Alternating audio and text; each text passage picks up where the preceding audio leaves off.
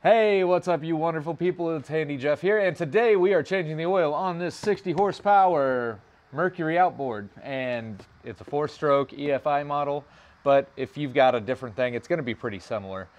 All outboard motors are pretty much this simple. But let's go over the things that you're going to need.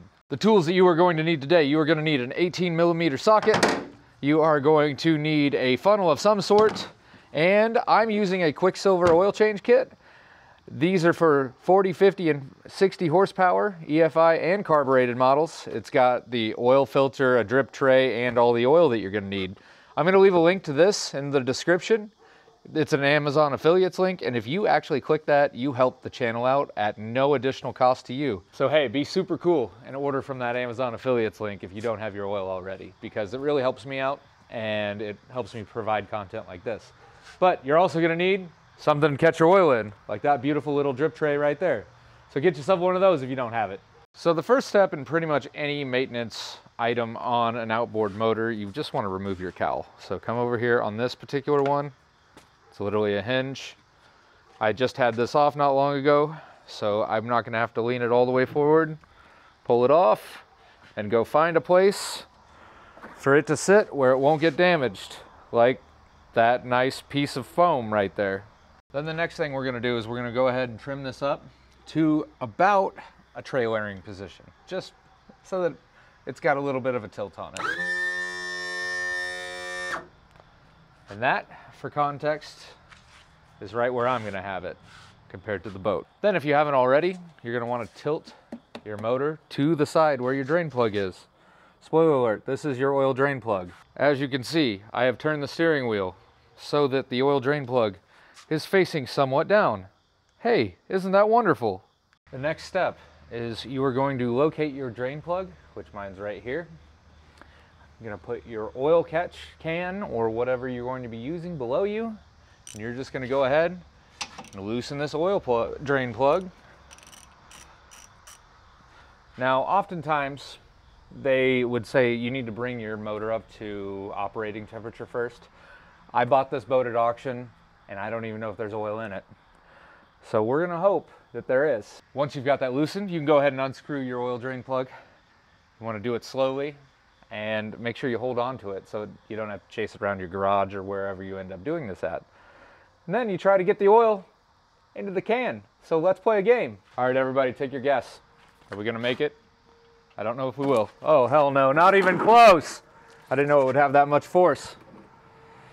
That's okay though. Nothing a little kitty litter won't fix. So then we're gonna allow our oil to go ahead and drain out.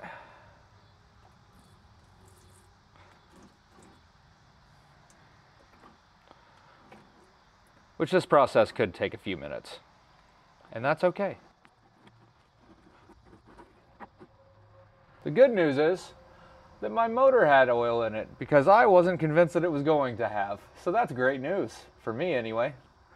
We're gonna let this go ahead and drain for a while and we're gonna come back in a few minutes. All right guys, most of the oil is done draining.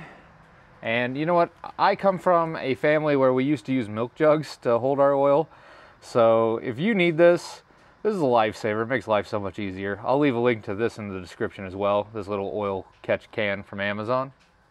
So one of the best parts about this oil change kit is it actually comes with a seal for your oil plug. So go ahead and open this bad boy up. So if you look at this seal, this current seal that's on this oil drain plug, you can see that it's had better days.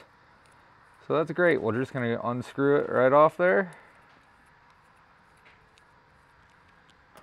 And replace it with the new one.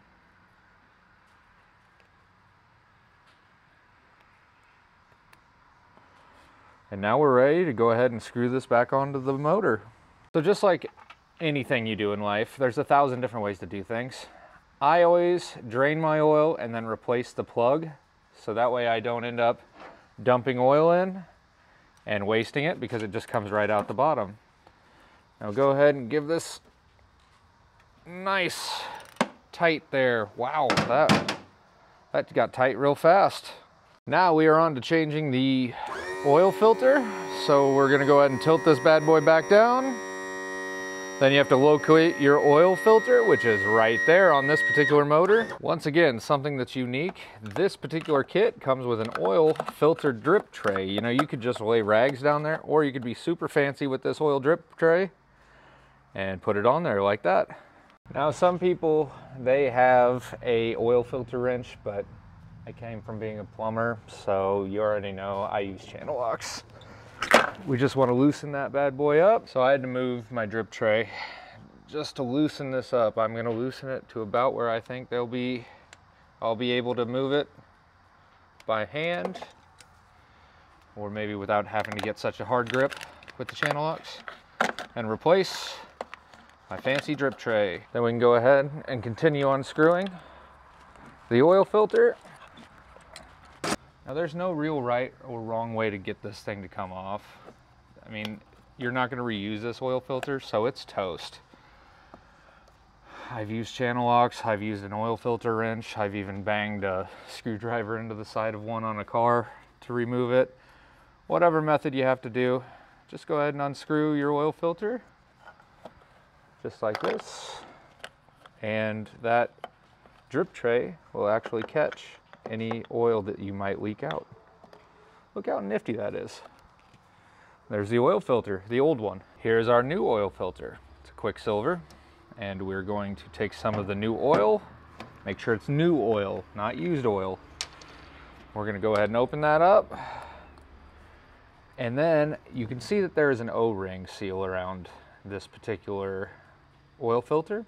So what we're gonna do is we're gonna go ahead and dip our finger in here get some oil on it, then oil up the face of this oil filter gasket. Doesn't take a ton, but you just want enough to help it make a great seal. Go ahead and remove our fancy oil filter catcher, drip pan, whatever you want to call it, and replace our oil filter. It just screws right back on.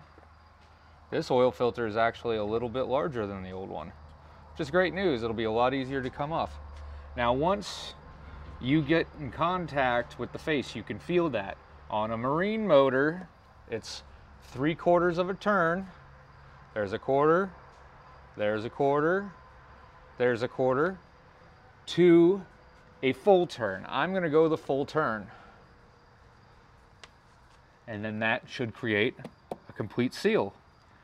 But don't worry, you already know, we're checking for leaks. The next step is to find and locate your engine oil dipstick, which on this particular model is literally right next to where we are changing the oil filter.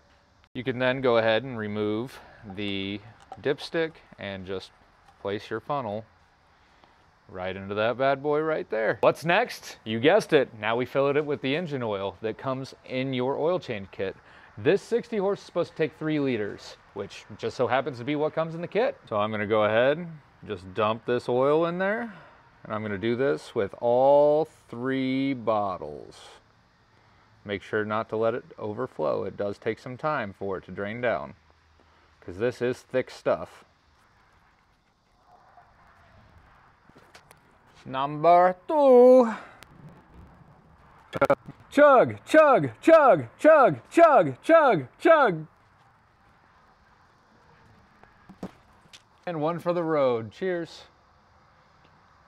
Did you think I was gonna drink it? I thought about it, but I don't have any extra oil or else uh, might have taken a mouthful and spit it out for the YouTube algorithm. Which leads me to mention, while I'm pouring this in there, if you guys get value out of this video, could you hit a thumbs up for me? It helps push this video to more people that might be looking for how to change the oil in a 60 horse outboard or an outboard motor in general. And that would really help me out because I want to spread my channel as big as I can. And if you haven't already, think about subscribing. We do all sorts of handyman content, DIY stuff, maintaining your stuff, and uh, self-reliance around here at the Handy Jeff channel. We also are working on starting a homestead. I've got some videos on hydroponic gardening and stuff. So if you have any interest in any of those things, subscribe. Drop a comment down below. If there's something particular you want to see, let me know. Give me an excuse to go buy something cool. I'll go buy it and work on it for the channel. Now let's finish this thirsty girl up. Now that you just witnessed a fast montage of what took five minutes to pour thick oil into a motor, we're good to go. But we're not finished yet. We're gonna have to check the level. So make sure you do that. I'll show you how if you don't know how. What you are going to do is you are going to take your dipstick. You're gonna get a rag of some kind. Clean said dipstick. Make sure that all of the engine oil is out of your funnel. Then you're gonna remove the funnel. Which it looks like there's still a couple of drips in there, so I'm gonna try to knock it to get it all out. Good enough. Now we take our dipstick, set it down in there. You will see that there are cross hatching here. It says add, which I don't know if this will focus, but it says add and then max in between the cross hatching there. In between these two pierced dots in the dipstick, go ahead and drop your dipstick down in there. Close it on up, open it on up and pull it out. Luckily this oil is gonna be super thick, so it's going to show you where it's at. Which on this particular motor, it looked like we were right at the max, which is perfect. That's great news, because that's where we want it at. So with that, your oil change is complete. If you are completely satisfied with your level and you've checked it three or four times like I did, go ahead and lock that bad boy down in there. And now your oil change is complete. Go ahead and get out there, get boating, have some fun, but make sure you stay safe. And also guys, while you're here, if you need more videos on how to service your outboard motor, we're gonna be doing the lower unit oil, the fuel filter, the spark plugs, and gonna be putting a fuel tank to this because it didn't come with one. So if you have any interest in that kind of thing, check out this playlist right here. Otherwise, thank you so much for watching. Has been Handy Jeff. We'll see you in another video.